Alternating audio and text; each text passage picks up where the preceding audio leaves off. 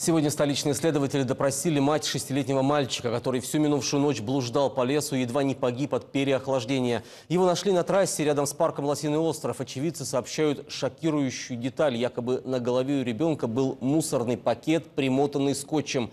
Как мальчик оказался один в заповеднике и почему мать заявила о пропаже сына так поздно, разбирался Денис Восковский. Изможден настолько, что не может идти самостоятельно. Но врачи уверены, ребенку повезло. Обстоятельства грозили неминуемой смертью от переохлаждения. Мальчик провел на опушке леса всю ночь, и лишь утром его случайно заметили водители. Привезли на заправку, где ребенка, наконец, отогрели и накормили. Сотрудники заправки, оказавшие шестилетнему мальчику первую помощь, были немногословны. Но он жив-здоров, по крайней мере. Да, все хорошо. Все хорошо, да? Да. А пакет на голове у него был, вот э, информация Я не появилась. знаю, мы здесь стоим за кассой. Интервью. Никакого ничего не рассказывали. Никакого интервью.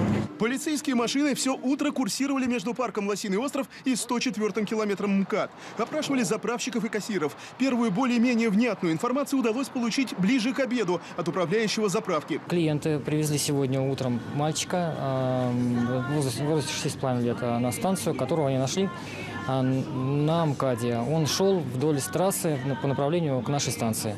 Привезли сюда, значит, мы оказали ему первую помощь, поддержку, э, напоили горячим чаем, э, значит, одели в, теплую, в теплую одежду. По данным следствия, ребенок пропал накануне в половине десятого вечера. Однако с заявлением в полицию мать обратилась только сегодня рано утром. По предварительным данным, 17 февраля женщина ехала в машине с ребенком мимо заповедника Лосиный остров и по просьбе последнего заехала в парк.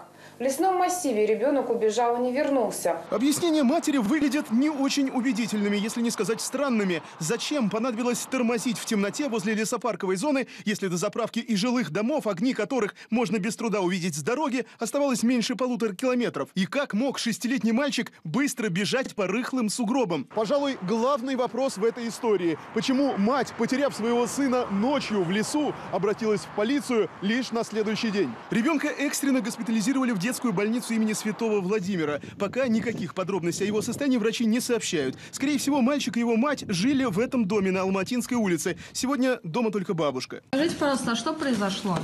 Что произошло? Мать его била. Скажите, обижали ребенка? Обижали?